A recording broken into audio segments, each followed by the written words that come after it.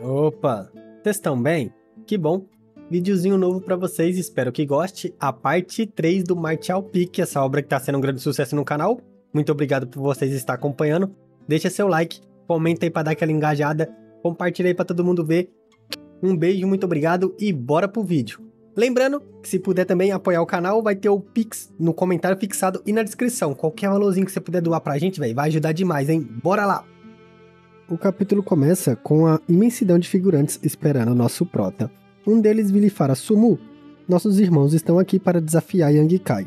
Eles estão na espera para adquirir mais pontos de contribuição. E Sumu fala: Parece que nosso irmão Yang está sofrendo bastante. E o figurante fala: Bem, ele é derrotado a cada cinco dias, mas ele nunca se rende antes de perder a consciência. Sumu diz que isso era surpreendente. Isso até aliviava a parte de sua mágoa, mas não o bastante. Ele irá pessoalmente chutar ele para fora do pavilhão Oito Portões. Uma vez que ele deixar de ser um discípulo, ele irá brincar com ele o quanto quiser. O cara babando um ovo de sumu fala que o verme do nosso prota ousou diluir seus esforços no vilarejo. Ele estava completamente desafiado sobre o quão poderoso esse tal figurante de sumu era. Ele nem ao menos tem ciência de seu status social e ainda o superestimou. E Sumu fala: diga a eles que hoje Yang Kai é meu. O figurante sai correndo pronto para cumprir seu desejo falando: sim, jovem mestre Su, ele então fala: Claros irmãos, o jovem Mestre Sun decidiu lutar contra Yang e Kai hoje. Eu peço que se retirem e espero que possam entender, pegando os figurantes de surpresa que não ficam felizes. Irritado, um deles responde: Por qual razão? Yang Kai sempre usa sua vassoura para escolher seu oponente. Por que deveríamos permitir isso? O primeiro a chegar será servido. Espere por sua vez. Um deles vem avisar pro figurante: Ei, aquele lá é Sumu, você não sabe quem é não? E o cara fala: Quem? O figurante fala: Ei, seu tolo, você não conhece ele? Ele deve ser parente de um ancião do pavilhão e é um dos dez mais fortes discípulos centrais chamado Su. E ainda assim pergunta quem ele é. Ele ainda alerta o figurante falando que não era sábio ofender esse tal Sumu por alguns pontos de contribuição que ele ganharia vencendo Yang Kai. E o figurante pondera e fala: Então tá certo. O cara que foi dar a notícia pede desculpas a seus irmãos discípulos pela inconveniência e Sumu ficava rindo bufando. Dez minutos depois, Somente ventos e folhas era vista e o figurante pergunta onde ele está. O cara fala, não tenho certeza, ele sempre começa a varrer o chão nesse horário. Por qual razão ele não apareceu hoje para ser derrotado novamente? Jovem Mestre Sun, por que nós não vamos até onde ele vive para dar uma olhada? E o figurante arrogante fala, muito bem, um mero empregado que limpa o chão se arrependerá de ter feito esse jovem mestre esperar. Irei ensinar uma lição para ele. E os figurantes que já tinham se retirado chegam falando, ei, para onde o Sumu tá indo? Será que ele vai procurar Yang Kai? E o outro fala: Não tem ideia, vamos apenas segui-los e observar. Algum tempo depois, o figurante chega na porta da casa de madeira do nosso prota e fala: Aquele verme está aí? O figurante, explicando, fala que Yang Kai é apenas um discípulo principiante, então ele deve estar providenciando as suas necessidades diárias. Aceita não se importa com ele e aquele barraco velho deve ter sido construído por ele mesmo. O figurante arrogante dá um passo para frente, falando: Muito bem, então ele grita para nosso protagonista: Yang Kai, saia daí e encare a punição por esse jovem mestre. Só que vemos que não tem nenhuma resposta do protagonista e ele se irrita gritando: Yang Kai, sai logo daí, ou iremos fazer isso nós mesmos.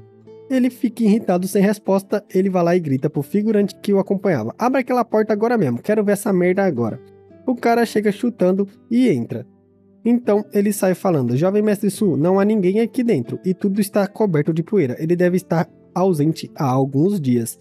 O figurante chamado Sumu contempla ausente e os outros dizendo ao fundo fala: Ah, então era por isso que Yang Kai não foi visto por vários dias. Ele é até bem inteligente, né? Ele sabia que teria problemas ao ofender Sumu, então deixou o local. E o outro fala: Ah, entendi. Não é à toa que ele não apareceu. Sumu contempla, aquele verme tem sorte mas meu ódio não irá desaparecer facilmente. Tragam para mim uma tocha e eu irei botar fogo nesse barraco. E todos os figurantes ouvindo isso suavam frio com essa maldade desse filho de uma égua. O outro cara fala: Jovem mestre, é mesmo uma boa ideia começar um incêndio na seita? Irritado, ele questiona: Do que você está com medo? Eu irei te proteger independente do que aconteça. E também, esta casa não pertence à seita, então apenas queime ela. Pegue um pouco de tocha e volte com um pouco de palha. E o figurante simplesmente diz: Sim, senhor. Algum tempo depois, Sumu estava com a tocha e quando ele ia queimar a casa, alguém põe a mão em seu ombro e fala: Ei, o que você está fazendo? Ele simplesmente, sem se virar, responde: Quem manda essa casa? e o dono da mão pergunta: Por que quer queimar minha casa? Nessa hora aparece até o episódio do Chaves Sumu vira o quê? Sua casa? Então, em estado de choque, ele exclama. Então ele rapidamente entra em posição de batalha suando frio. Ele grita: Yang Kai, como ousa tocar em minhas costas? Você realmente não possui boas maneiras? Nosso prota fala: Você não é o corajoso Sumu do vilarejo Black Plum? E o figurante com raiva mordendo o dente fala: Yang Kai, não há futuro para você aqui. Hoje você irá sofrer. Nosso prota fala: Tá tentando me causar problemas? Sério? E Sumu diz: É claro. Acha que estou aqui para visitá-lo como um bom amigo? Então nosso prota fala: Por que tem que queimar minha casa? Se tem algum problema comigo, me encare diretamente.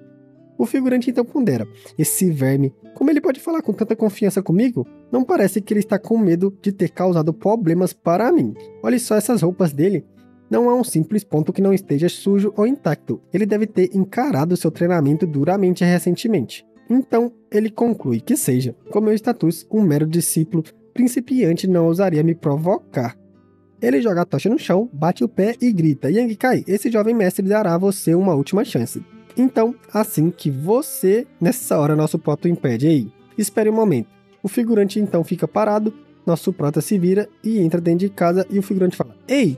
O outro chega falando: Jovem Mestre Sun, essa pessoa não irá nos encarar?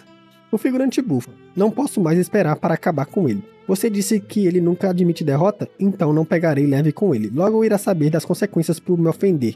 E o outro fala: Isso mesmo, jovem mestre, vai lá e vemos nosso prota guardando sua maleta de coisas e voltando para fora. Ele fala: O que estava tentando dizer ainda há pouco? O figurante sombrio fala: Yang Kai, esse jovem mestre dará a você uma última chance. Então ajoelhe-se para mim e reverencia várias vezes. Então se dirija a mim como seu honorável senhor. Então irei poupar sua vida. Caso contrário. E nosso prota simplesmente balançava a cabeça: Hã? Tá ficando louco? O figurante sua no fio fala: O que foi? Nosso prota olha para todo o figurante e fala: Irrelevante. O cara fala: O que quer dizer? Nosso prota, rindo da burrice dele, fala: Não entendeu? Explicarei a você. Deixe-me fazer uma pergunta. Você tem algum parente mais velho no pavilhão Oito Portões? E o figurante rindo fala: Hum, notou isso? Parece que você tem alguma habilidade. E nosso prota pondera: se não fosse pela reputação de sua família, ainda seria capaz de agir dessa maneira e vir aqui buscando vingança? Sei não, é. E ainda até mesmo ponderava em queimar minha casa? Nosso prota então fala: presumo que esta pessoa tenha grande autoridade no pavilhão, não é? E o figurante, todo reluzente com nariz empinado, diz: ele é um ancião da seita. Também tem uma irmã mais velha que está na fase de discípulo central. Ela pode facilmente acabar com você com apenas um dedo.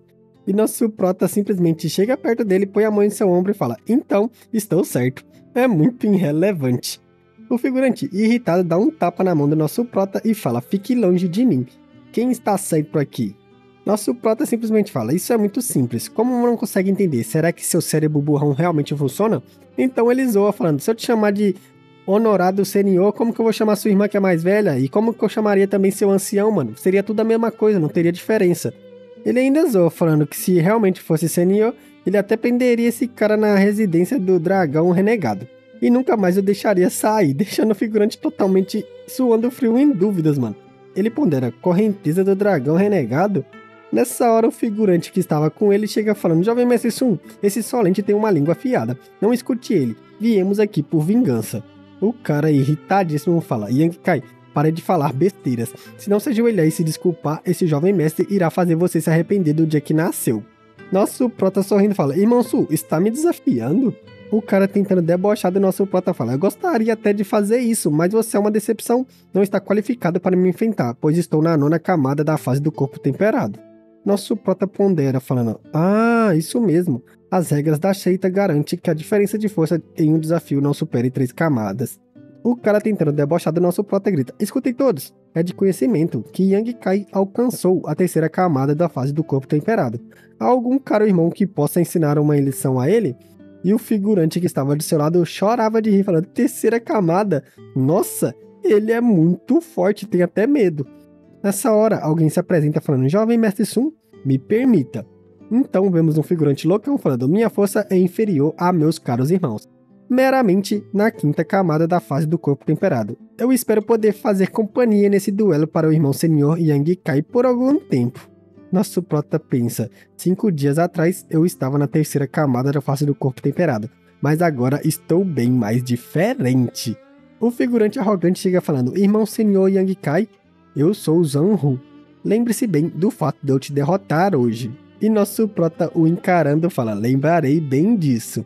O figurante, querendo passar mais vergonha, ainda fala: Irmão Yang, não me diga que eu não lhe dei chance alguma. Permitirei que você faça três movimentos. Se conseguir me fazer dar um simples passo para trás, então você será o vencedor. Mas se não o fizer, esse discípulo júnior não irá se segurar. Sumu que estava lá atrás pondera, esse Zanru é muito bom, ele sabe mesmo humilhar alguém, desta forma será muito melhor. E vemos a waifuzinha em cima da árvore assistindo tudo. Ela encarava nosso prota e o figurante que o desafiou. Então vemos nosso prota falando, está tudo bem, como posso permitir que o irmão Júnior faça isso? E o cara tentando debochar fala, não se preocupe, não é nada demais. Como seu irmão Júnior daria a você três movimentos, e ria do nosso prota. Logo vemos Yang Kai falando, muito bem, já que o irmão Júnior insiste, o irmão Sênior não irá se segurar. O cara começa a gritar: Não existe, venha com tudo! Pensando que algum herói, sei lá, mano, tá achando que é protagonista essa porra. Ele pensa: Eu vou dar fim a um mero sujeito como ele. Não levará esforço algum para acabar com você. Nosso prota então fala: Ah, tá bom. Irmão Júnior, irei atacar agora, beleza? E o figurante ria, falando: Pode vir.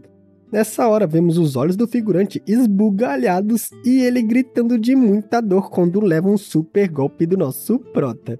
Então vemos um murro e o figurante gemendo de dor. Então, uma preparação e um super chute na cara que joga o figurante voando para longe. Nessa hora, todo mundo gritou unissoro. O quê? Zonru foi derrotado facilmente assim e a waifuzinha estava totalmente assustada de longe. Ela fica tão incrédula que se levanta falando: não pode ser. Só que esse movimento rápido faz ela se desequilibrar e cair de popote no chão, gritando: Que é? Ai, isso dói muito. Então ela pensa: Isso tudo é culpa de Angikai, apenas caí porque ele me surpreendeu. Como ele pode obter tanta força estando desaparecido apenas alguns dias? Ao julgar pelos seus movimentos, parece que ele pode usar um pouco de Ki. Isso representaria que ele está acima da quarta camada na fase do corpo temperado. Se questionando, ela pensa, mas como isso pode ser possível, mano? Ele estava na terceira camada há alguns dias. Nosso prota olhando para seu punho diz, ainda não consigo controlar minha força corretamente. E Sumu que assistia isso fica com raiva e grita, trapaceiro, apontando para o nosso prota. Nosso prota olha para ele e fala, Sumu, você não deve acusar alguém sem provas. Como eu pude trapacear? E Sumu fala, ora, seu maldito. E o cara fala, ei, jovem mestre Sum, parece que nossa informação estava errada. Temo que esse verme tenha avançado em sua cultivação e ultrapassado a terceira camada do corpo temperado. Caso contrário, não teria vencido Zanru. E Sumu fala: Ah, então é assim. Ele pensa que Zuru foi bastante imprudente. Se ele não tivesse baixado sua guarda, jamais teria perdido. Então ele fala: Tudo bem, irmão senhor Yang Kai, você fez bem provando sua força hoje. Ele se vira e fala: Haverá mais oportunidades no futuro. Não terá tanta sorte da próxima vez. E grita: Vamos indo! E os figurantes que o acompanhavam pegam o figurante no chão que estava totalmente grog. Nosso prota fala: Poxa, a luta de hoje foi bem satisfatória. Ele pensa: o encontro com o Sumo hoje me fez perder a única oportunidade do dia de praticar minha técnica do corpo temperado. Então, algum tempo depois, vemos que ele estava pronto para entrar em um lago. Ele iria se lavar de sua aventura nas montanhas. Vemos uma pessoa se aproximando de sua casa e pensando: gostaria de observar Yang Kai para descobrir qual camada de cultivação ele está no momento mas parece que ele não está aqui. Então a garota se assusta ao olhar para o lado e pensa: o que raios ele está fazendo? exclamando, pois vê nosso prota peladinho, fi. Ela começa a observar ponderando: esse irmão Júnior, como ele pode ficar sem roupas dentro do pavilhão sem o mínimo cuidado? Ele é um sem vergonha. É melhor eu ir embora. E vemos nosso prota lá de boinha dando um tibum lavando seu corpo que estava bem machucado. Após isso, ele sai, pega sua roupa, se veste e pensa: estive ausente por vários dias, melhor começar a varrer o chão. Pegando sua vassourinha quebrada, ele começa a varrer o pavilhão, enquanto pensa: ainda que eu tenha problemas mais graves, fui designado para cuidar da limpeza. Tenho que fazer isso de forma séria. Algum tempo depois, após completar suas tarefas, vemos ele voltando para casa com sua vassoura, pegando sua trouxinha e pensando: deixei algumas ervas para meu treinamento, o restante irei usar para trocar por pontos de contribuição. Ele olha para as roupas que usou na sua aventura e fala: Acho melhor eu usar as roupas rasgadas para isso. Após isso, na sala de contribuição, vemos alguém bebendo um chá. O velhote se assusta ao ver que alguém chegou e cospe totalmente seu chá e diz: Pequeno Yangikai, o que houve? Nosso prota põe sua trouxinha em cima da mesa fala: Eu voltei se fingindo de coitado. O tesoureiro Meng fala: Minha nossa, você deve ter encontrado dificuldades, não foi? E o prota sorridente fala: Sim, foi bem perigoso. Mas a viagem foi bem produtiva. Ancião Meng, quantos pontos de contribuição valem essas ervas? O velhote pensa, essas ervas são de ranking inferior, que não possuem valor. O salão de contribuição já possui vários desses e estamos sem espaço para depositá-los. O velhote mesmo assim pensa, ao menos devo ajudá-los com alguns pontos. Ele diz, sim, estamos aceitando um ponto para cada uma das unidades. E o nosso prota mostra para ele a trouxa falando, então confira. O velhote fala, você esteve na montanha Blackwind por três dias, isso é tudo que conseguiu? Nosso prota fala, com tudo isso em mãos, acho que valeu um pouco a pena, não acha? E o velhote fala: Entendo, nada mal enquanto avalia tudo. Ele pondera, até mesmo Yagikai possui um talento para ser notado. Ele tem trabalhado duro em seus objetivos e tarefas, é uma pena que ele não tenha despertado seu potencial. O velhote encara nosso prota após essa ponderação e vê ele olhando para o lado. E pergunta: Ei, o que você está olhando? Nosso prota chega sussurrando: Yang Meng, na verdade encontrei algo interessante durante a minha viagem à montanha. O velhote coçando a barba pondera e fala: É mesmo? Do que se trata? Nosso prota mostrando um outro saquinho fala: Não sei do que se trata, mas acredito que você possa examinar e determinar o que é. Então vemos o velhote abrindo o saquinho e pegando o cogumelo vermelho. Nosso prota pergunta: Ei, você sabe o que é isso? Enquanto olhava para o cogumelo. O velhote então diz: Hum, onde você encontrou isso? Nosso prota fala que foi em uma caverna que havia uma besta demoníaca que tomava conta do local. No fim, ele conseguiu matá-la e posteriormente encontrou isso. O velhote bate sua mão na mesa irritado e fala: Ei, você encontrou uma besta demoníaca? Eu já não te disse para você não se esforçar demais? Enquanto olhava para o braço machucado do nosso prota. Nosso meninão em choque fala: É, eu não fui tão longe, não fazia ideia de que estava nas profundezas da montanha. E o velhote bufando fala: Essa criança sobreviveu a uma luta contra uma besta demoníaca? Se ele souber que essa planta não vale nada, não será muito legal para ele. Então ele mentindo fala: Meu caro, você teve sorte. Esse é um cogumelo sanguíneo. É difícil de encontrar um desse, mas. E nosso prota esperava sua resposta. Na verdade, isso possui propriedades de caráter mediano da Terra. Nosso prota feliz fala: Caráter mediano? Ancião Meng, você está realmente falando sério? O velhote todo reluzente fala: Ei, pirralho, não me subestime, viu? Em minha vida, eu conheci vários tipos de mulheres. Opa, errei. Vários tipos de ervas medicinais. E é impossível que meus olhos possam se enganar. Nosso prota feliz fala: Quantos pontos pode trocar pelo cogumelo?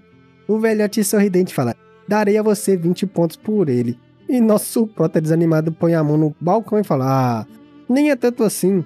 O velhote fala: Meu jovem, isso vale muito. E pondera: Este já é o preço até um pouco a mais, não posso pagar muito. Ele diz que, ainda que o cogumelo possua caráter mediano em suas propriedades, ele ainda é um pequeno, pelo fato de não estar maduro, o que faz valer apenas 20 pontos. Nosso prota simplesmente aceita os pontos e fala tudo bem. Ele pondera, se eu não contar as três folhas de folhagem espiritual e o capim proibido, então será um total de 36 pontos de contribuição. Adicionando o que eu havia comprado, então o montante será de 48. Me sinto como um jovem mestre agora. Ainda possuo três folhas e mais um pouco de capim proibido.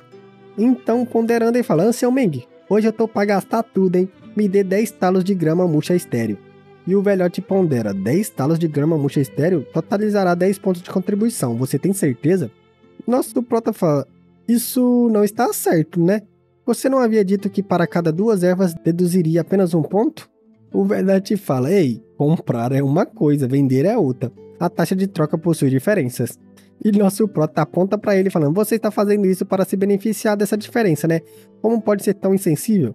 O velhote balançando a mão, falei, apenas estou fazendo isso porque gerencio o local. O tabelamento é feito pela seita. Dessa forma, como você acha que eles podem cuidar de 3 mil discípulos?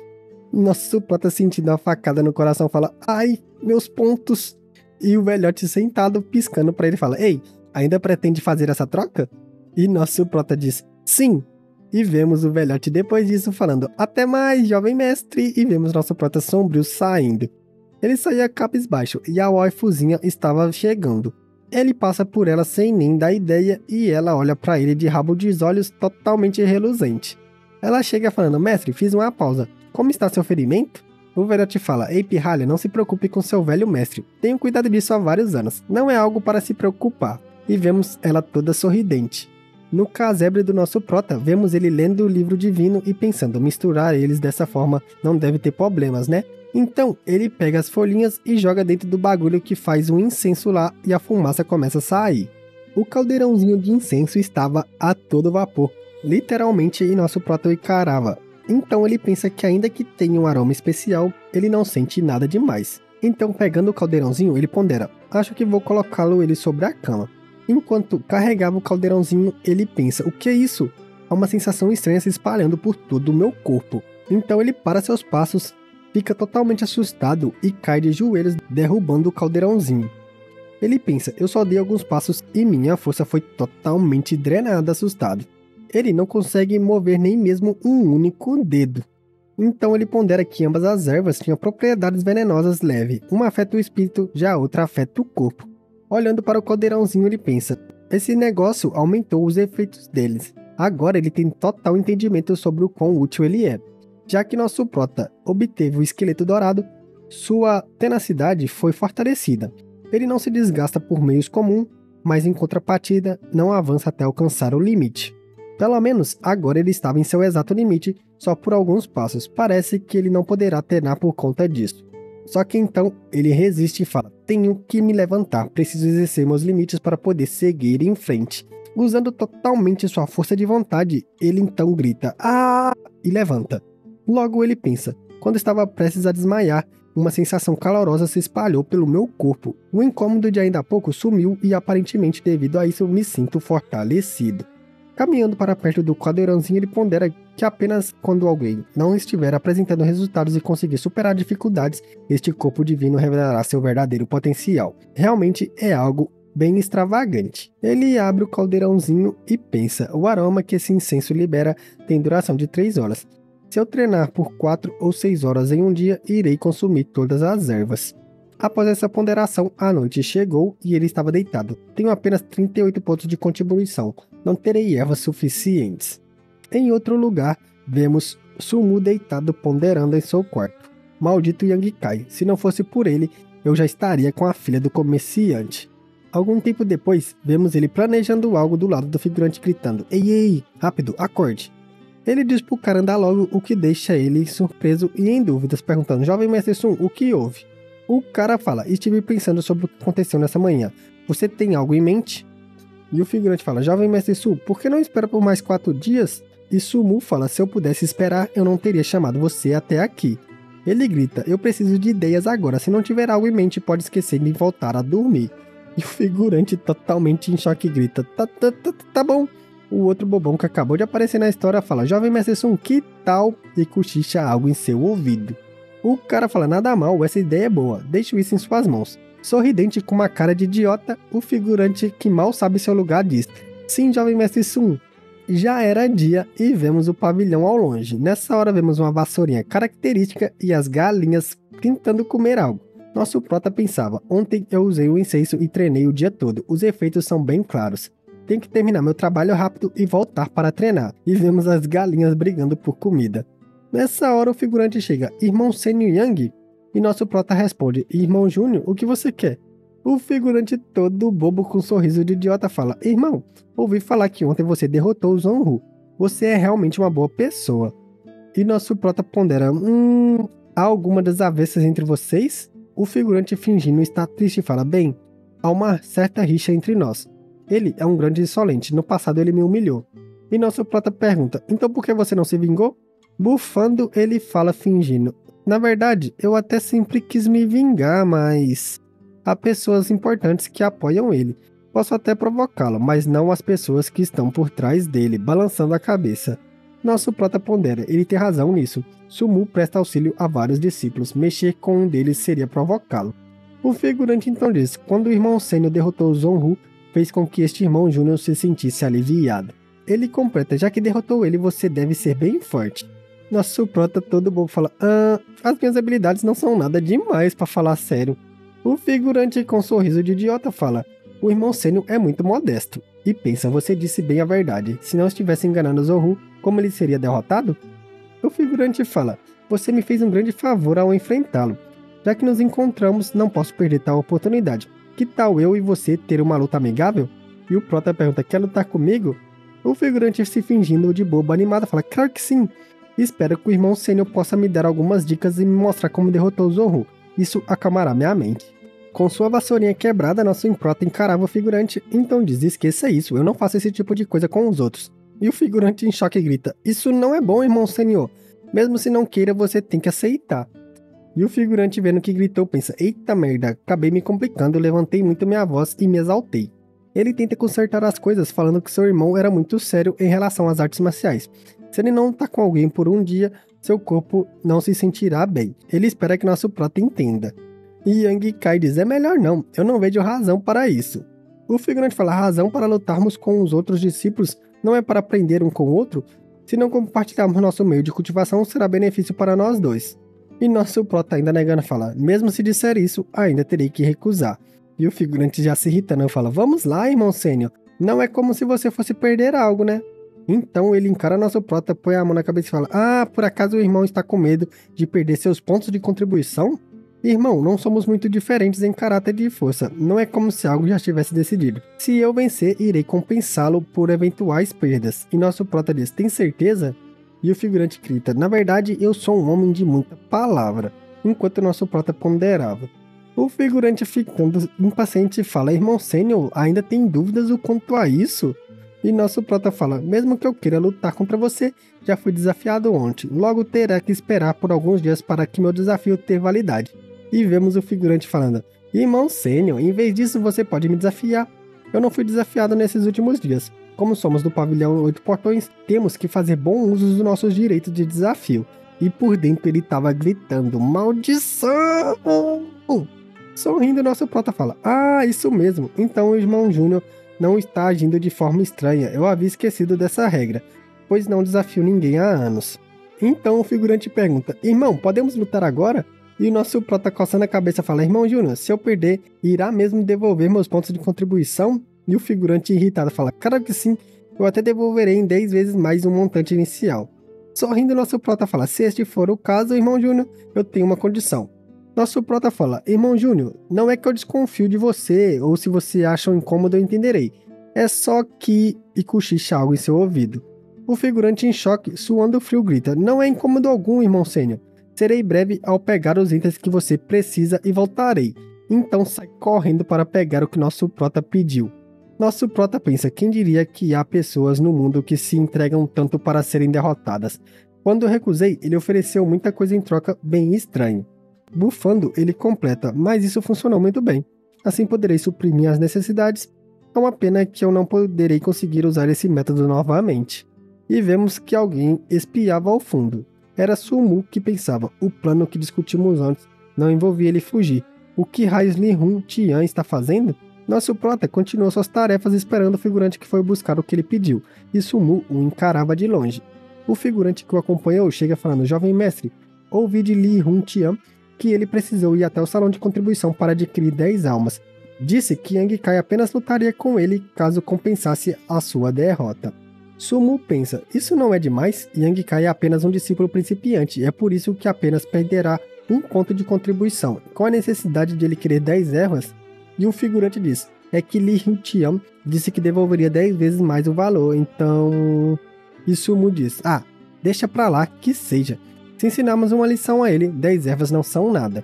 Nosso prota continua seu trabalho de varrer, enquanto vemos os figurantes voltando correndo pensando, Ancião Meng é um aproveitador. Para 10 ervas me custarem 20 pontos de contribuição, isso me deixa furioso. Logo vemos alguém gritando, Irmão Sênior, aqui estão suas ervas. E nosso prota pega e fala, Irmão Júnior, não precisava. Nessa hora ele encosta sua vassoura e o saquinho e o figurante pergunta: Irmão Sênio, agora nós podemos lutar? Nosso prota se vira e fala: Sim, irmão Júnior, não precisava passar por isso. Na verdade, quando você me deu sua palavra, este irmão sênior passou a ter total confiança em você.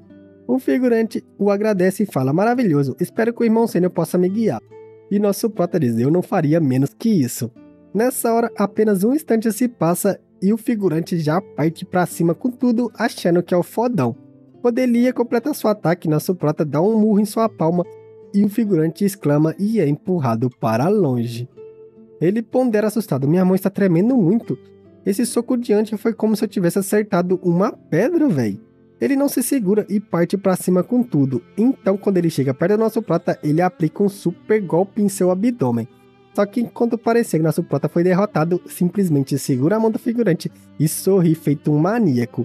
O figurante vendo isso fica totalmente em choque e pensa: isso não é bom. E óbvio que ele estava certo, pois nosso prota mete uma bica jogando ele longe, filhote. Com essa cena hilária do nosso prota ensinando mais uma lição para figurante burro, eu vou terminando o vídeo por aqui. Espero que esteja do agrado de todos, valeu demais a moral que vocês dão pelo canal. Vejo que vocês gostaram muito de Martial Peak, que bom.